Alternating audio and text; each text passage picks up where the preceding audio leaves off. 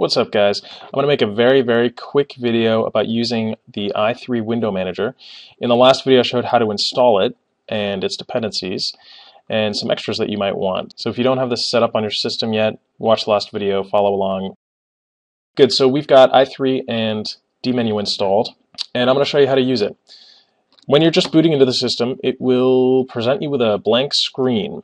At this point, you should have configured your mod key. So your mod key is going to be either uh, generally either the Windows key or the Alt key. I've got it configured to use my Alt key because I'm in a VM and I don't want Windows locking my screen when I push mod L. So I'm just going to show you, uh, I'm, I'm gonna, just going to use the word mod, so whether you're using the Windows key or the Alt key, it doesn't matter. One of the reasons to use i3 is if you want something keyboard based, especially if you're doing a lot of work in terminals, it can be a lot faster than having to point and click and hunt around a screen with a mouse. Uh, likewise, if you hate Unity or it's just too slow in a vir uh, virtual machine that doesn't have much video memory, this can also be a good reason to use something like i3, a tiling window manager. So the idea behind a tiling window manager is that it tiles. So if I hit Alt Enter, it will open a window that takes up as much space as is available. And it'll keep bisecting whatever space it's in to create more evenly sized windows. So if I just hit Alt Enter a bunch of times, it will, you can see horizontally create a bunch of windows that are all equally sized.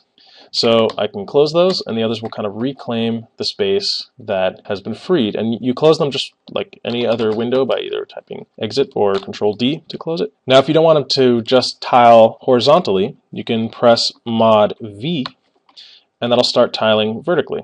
So now if I hit mod enter again, it will create a new tile vertically.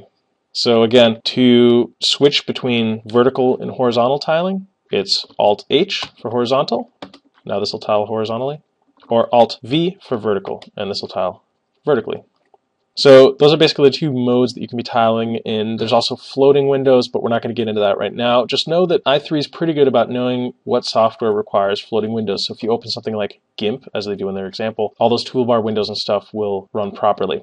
Okay, navigating around your windows. So you're going to use your mod key, and this is what's really great. Your home row in your right hand, so J, K, L, and semicolon on a US keyboard layout, are all you really need to navigate around. So mod, I'm holding down mod. J is navigating to the left, semicolon is navigating to the right. Up is L. I always remember this with a lift, like L for lift lifts me up. And K is down. So there you go. Mod J left, mod K down, mod L lifts you up, and mod semicolon is over to the right. Now they'll they'll come around. So if you just keep going, they'll start from the other side again. You can also use your arrow keys to do this, but I prefer using the home row because it doesn't require moving your hands, which is just much faster. So you can tile horizontally and vertically, but uh, if you hit mod and then some number, I'm going to try that now. You can see I just hit mod 4 and that started a new workspace. So now I'm sitting on a new empty workspace. If I go back to mod 1, you can see where I just was. Sorry, we were at mod 2. You can see since there was nothing in 4, when I went back to mod 2, it automatically closed 4 because there's just nothing there. Now if you want to force create a new window like with a gap in between, like 5, there's no 4 here, just create a window inside of it and then go back and you can see now there's only one, two, and five. That's useful if you always have a certain thing open in a certain workspace, like you know that five is going to be your browser. Now if you want to move something to a different workspace, you simply navigate to the tile that you want to move, and then shift mod or mod shift, they both work, and then the number that you want to send it to. So we just sent that one to workspace 5. You can see, there it is. And it's correctly created a tile. We're going to get rid of that. Now there's nothing else on 5. So we want to send uh, the one above this to 5. Oops. So we'll mod L up into it, and then mod shift 5. So the other tiles adjust. Now if we hit mod 5 to go to the fifth workspace, there it is. Hooray!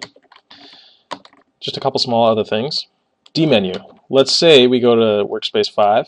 If we hit mod D, it'll open up dmenu. This is basically something that will list apps and autocomplete for you. You can see left and right keys navigate between the choices. I just prefer to type. So if we want to open Firefox, you just start typing in the name. When it's selected, hit enter to open it. Now I actually already had Firefox running, but you can see even with graphical applications, uh, you have the same tiling functionality. So if I open a new window, it'll just open in a new tile. It's pretty useful. You can still use tabs the same way, but obviously it's more useful to use new windows just because it's then easy to navigate with mod. The side on the left is where you want to be for, sorry, wow. Of course, closing it is no longer Control D. That always gets me. The side on the left there is i3wm, so i3windowmanager.org, and in their docs, it's on the front page anyway, the link to this, but their user guide is really, really good. So you should check it out. You can see the default key binding there.